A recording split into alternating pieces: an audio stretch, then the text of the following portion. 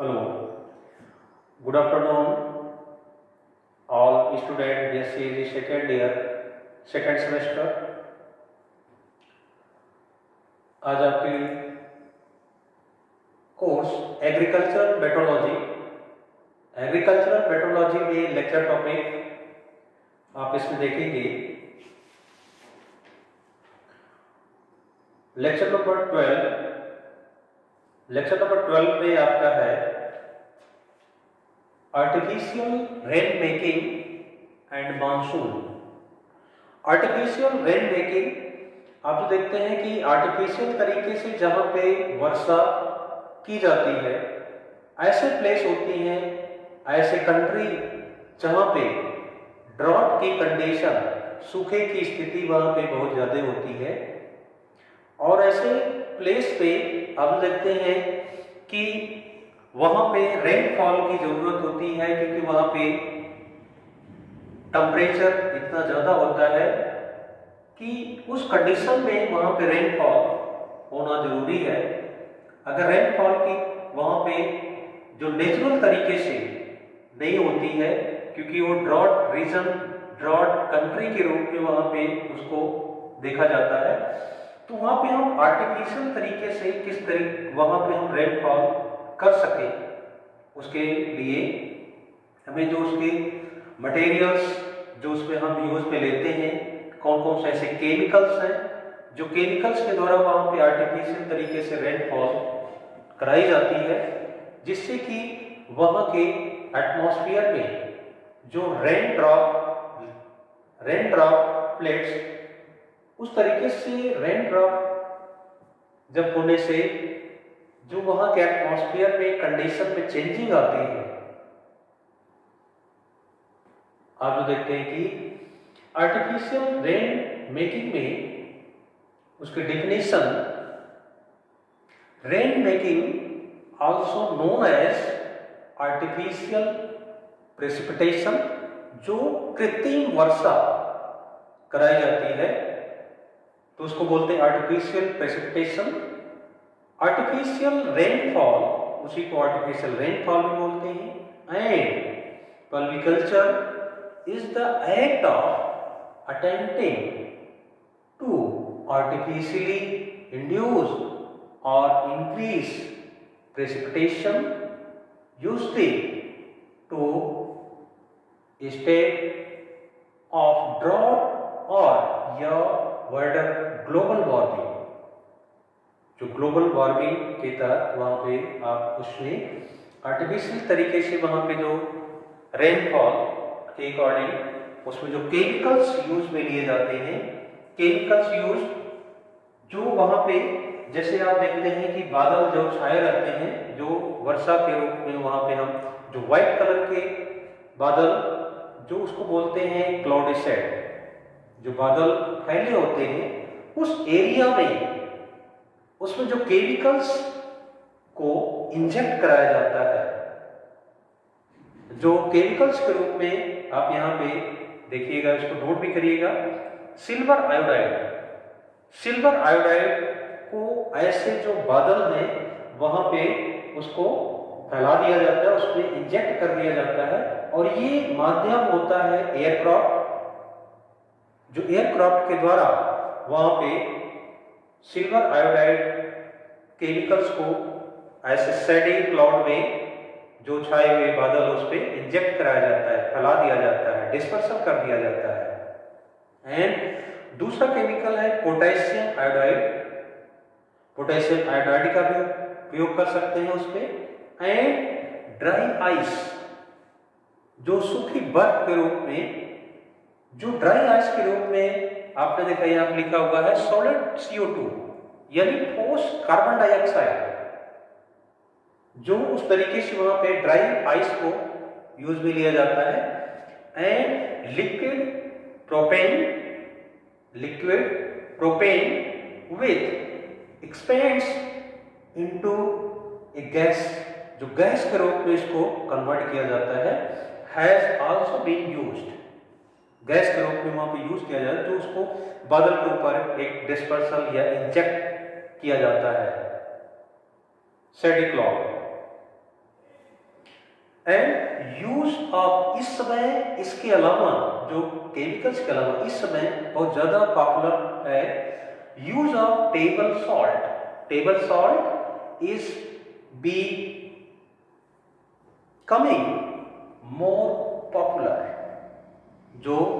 Artificial rain के रूप में वहाँ पे इसका भी उपयोग बहुत ज़्यादा किया जाता है। और जो मेथड आपको हमने बताया कि ऐसे एरिया जो ड्रॉट जहाँ पे ऐसी कंट्री जो ड्रॉट के कंडीशन में यानी वहाँ पे रेनफॉल नहीं होती है, बहुत कम होती है तो जब टेम्परेचर बहुत ज़्यादा आवश्यकता बढ़ जाता है, वहाँ पे नियर अबाउट आप जो देखते हैं 50 क्रॉस कर जाता है 50 डिग्री सेल्सियस 60 डिग्री सेल्सियस तो ऐसे कंडीशन में वहाँ पे जब ड्रॉट की कंडीशन आती है तो वहाँ पे ये आर्टिफिशियल रेन कराई जाती है। आर्टिफिशियल रेन मेकिंग की जाती है। डिफरेंट जो केमिकल यूज़ में लेकर के और वहाँ वहाँ पे एयरक्राफ्ट के द्वारा जो क्लाउडी सेट यानी वहाँ पे जो छाए हुए बादल हैं, जो दिखाई देते हैं व्हाइट व्हाइट कलर में, उस पर इंजेक्ट कर दिया जाता है या फैला दिया जाता है। तो ये आपका था artificial rain making and next उसी से रिलेटेड आपका है मानसून मानसून जो आप जो देखते हैं कि लिथोस्फीयर से जब उस मानसूनी हवाएँ होती हैं, और मानसूनी हवाएँ जब तेज़ी से उनकी जो स्पीड नियर अबाउट आप देखते हैं थर्टी किलोमीटर पर आवर या इससे अधिक भी तो जब स्पीड उनकी अधिक होती है तो किसी प्लेस पे जाकर के जो ऐसे प्लेस हो कि जो हाइटर हो, जो वहाँ से जब टकराती है तो टकराने के बाद जब पुनः जब वापस आती है तो उनकी स्पीड कम हो जाती है। जब स्पीड कम हो जाती है तो ऐसे कंडीशन में वहाँ पर रेनफॉल होती है। तो उसको मानसूनी जो रेनफॉल होती है, जो मानसून के अंतर्गत किया जाता होता है, उसको हम नेचुरल तरीके से उसको देखते हैं। कि आपका दो मानसून सबसे ज़्यादा पॉपुलर होता है। साउथ वेस्ट मानसून और नॉर्थ ईस्ट मानसून। तो उसमें आप देखते हैं कि साउथ वेस्ट जो मानसून आप उसके अंतर्गत वहाँ पे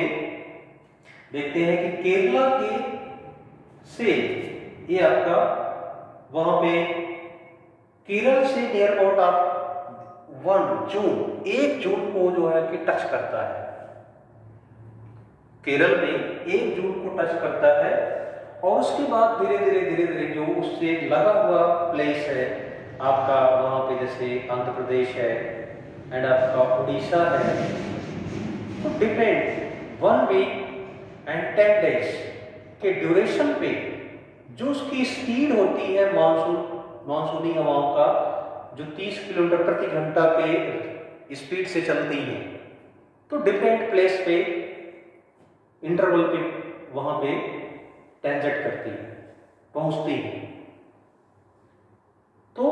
रेनफॉल जब मानसूनी हवाओं के द्वारा, जो मानसून के द्वारा होती है तो वहाँ पे एक जो एवरेज रेनफॉल यानी आप जो देखते हैं कि नियर अबाउट आपका इंडिया का एक नॉर्मली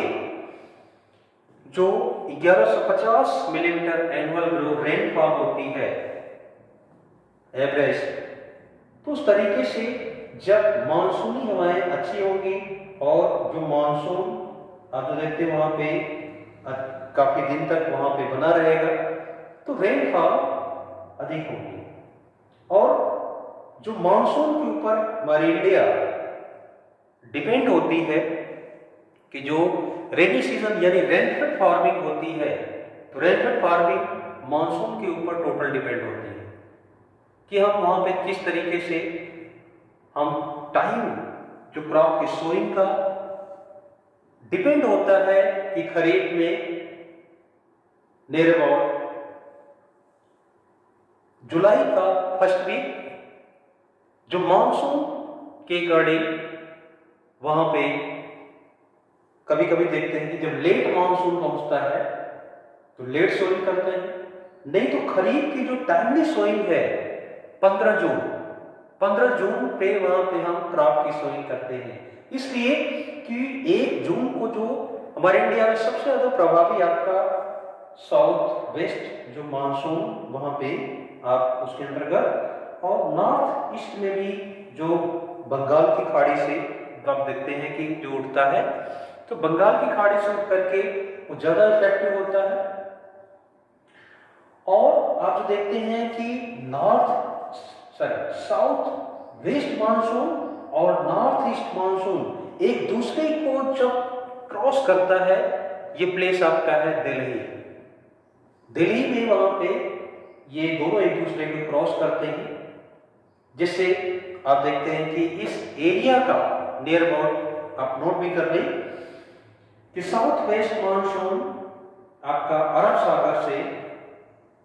जो उसमें टेम्परेचर जब अधिक होता है तो जो मानसूनी हवाएँ जो वहाँ पे प्रेशर अधिक होगा तो जब उठती हैं तो अरब सागर से ये आपके ज़्यादा होते हैं साउथ वेस्ट मानसून अरब सागर, ये आपका जो है केरला आंध्र प्रदेश गुजरात, तमिलनाडु। इसमें ज़्यादा इफ़ेक्ट इसका रहता है। जब ये आपको प्लेस हमने बताया कि उस प्लेस पे आपका साउथ वेस्ट मानसून ज़्यादा प्रभावी होता है और वहाँ पे इसके द्वारा जो है, इस मानसून के द्वारा वहाँ पे रेनफॉल अच्छी होती है। एंड दूसरा है north east monsoon north east monsoon आप जो देखते हैं, ये आपका वे ऑफ़ बंगाल जो वहाँ से हिमालय की पहाड़ी से टकरा करके Assam and Bengal Bihar UP and some part of Delhi जो वहाँ पे इसके द्वारा जो है वर्षा अधिक होती है। और ये आपका जो नॉर्थ ईस्ट मानसून है, वो ज़्यादा इंडिया में इफ़ेक्टिव होता है। तो इससे रिलेटेड आप इसके डिफिनेशन भी नोट कर लेना। Monsoon monsoon is traditionally monsoon is traditionally defined as a seasonal reversing reversing wind account by corresponding change in precipitation but is now used to describe seasonal change in atmospheric circulation and precipitation associated with the heating of land and sea.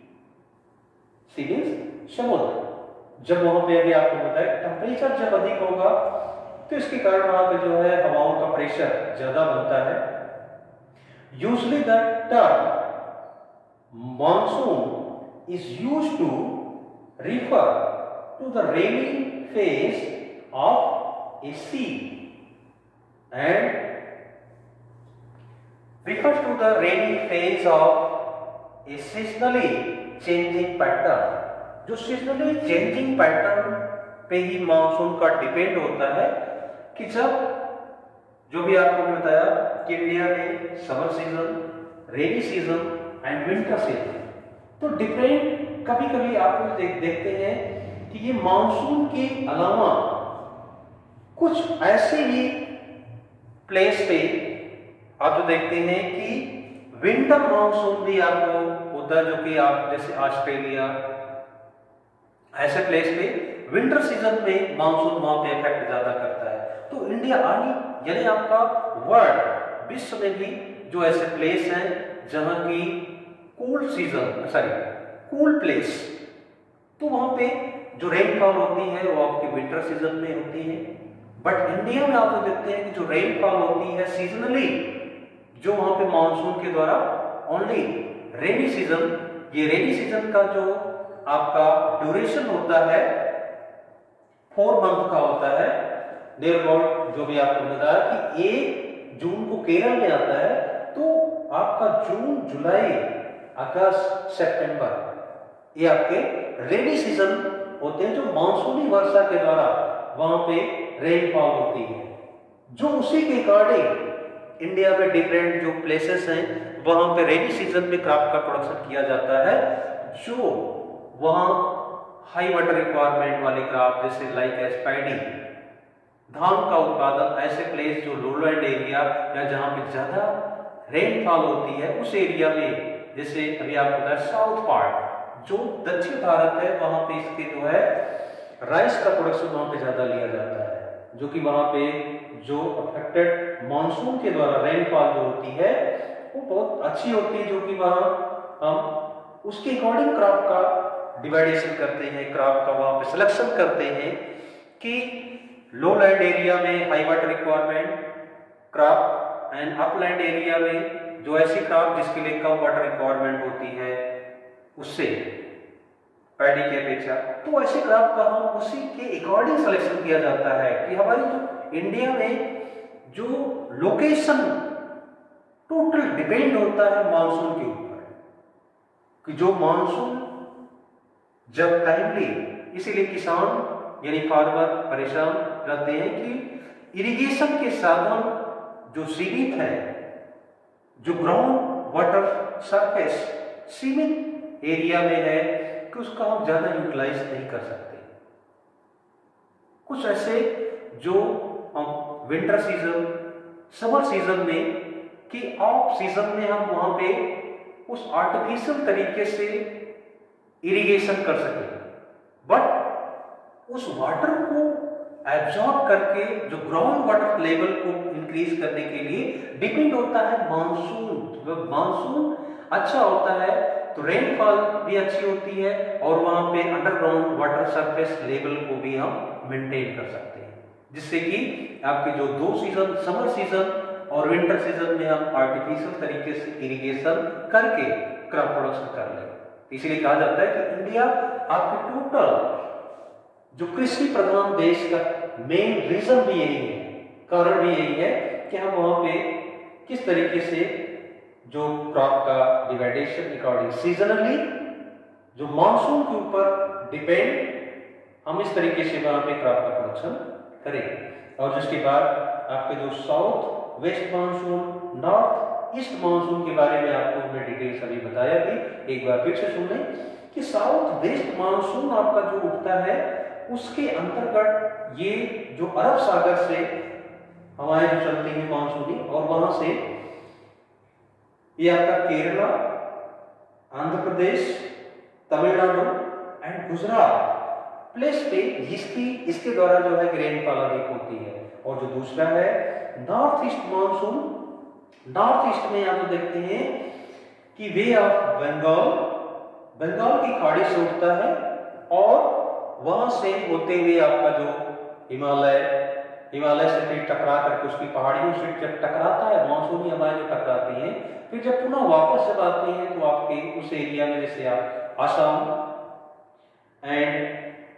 आपके बंगाल में जो area है, Kolkata and उससे लगा हुआ Bihar UP and some part of Delhi and आपको उसी से रिलेटेड आपका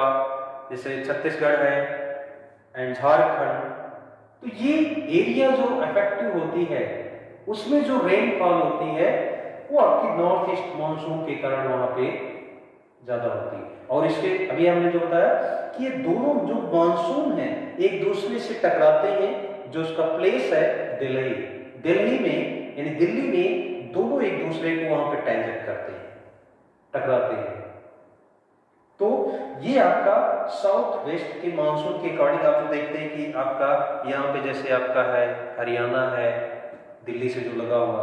और आपका राजस्थान, और आपके जो इधर से करनाल, ये सब जो एरिया है, उससे अफेक्टेड होते हैं आपके साउथ वेस्ट मानसून में इसी कारण। और जैसे आप जो देखते हैं कि राजस्थान में यहाँ पे एक मेन रीजन है कि रेनफॉल अच्छी नहीं होती। इसका रीजन है, जिसमें अभी आपको मैंने बताया कि सबसे अच्छी रेनफॉल जो नॉर्थ ईस्ट मानसून के कारण होता है, जो प्लेसेस और जो आपके बंगाल की खाड़ी से ये मानसून उठता है तो उसकी स्पीड यहाँ तक पहुँचते पहुँचते बहुत कम हो जाती है। राजस्थान रीजन तक पहुँचते पहुँचते कम हो जाती है, जो कि वही मेन रीजन है कि यहाँ पर रेनफॉल बहुत कम होती है। तो इससे अकॉर्डिंग जो आपके आज topic artificial rain making and monsoon तो artificial rain making and monsoon के अकॉर्डिंग कुछ और भी उसमें नोट कर लेना कि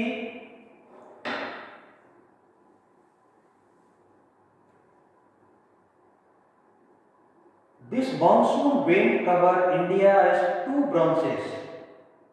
जो इंडिया में इसकी two branches one is Arabian sea यानी अरब सागर से जो branch and the other is Bay of Bengal branch दो ब्रांच में एक अरब सागर और एक बे ऑफ़ बंगाल ब्रांच जो भी आपको मिलता है। कि साउथ वेस्ट मानसून आपका अरब सागर से उठता है और जो दूसरा है आपका Bay of Bengal The Bay of Bengal branch move up to Assam, then defect toward northwest due to Akka Himalaya and